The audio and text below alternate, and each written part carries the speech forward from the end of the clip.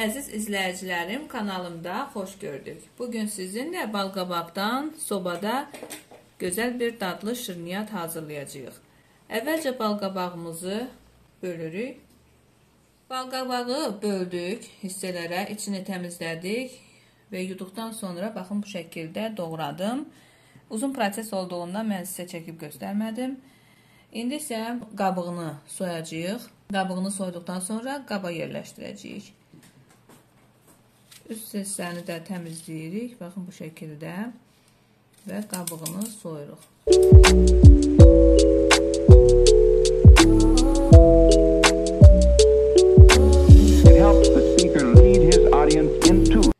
Balqabaqları bu şəkildə doğradıq və qaba yerləşdiririk. Qaba yerləşdirdikdən sonra üzərinə zövqə görə şəkər tozu əlavə edirik.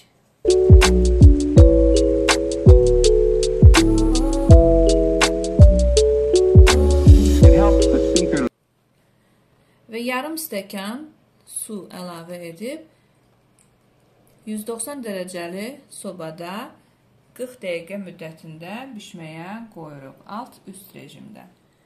Əziz izləyicilərimiz, balqabağın bişməyinə 5 dəqiqə qalmış sobadan çıxartırıq və üzərinə üyüdülmüş qoz əlavə edirik. Yenidən 5 dəqiqə müddətində bişməyə qoyuruq. Əziz izləyicilərimiz, balqabaqdan hazırladığımız şirniyyat hazırdır. Siz də hazırlayıb afiyətlə yeyə bilərsiniz. Kanalıma abunə olmağı unutmayın. Gələn videolarımızda görüşənədək.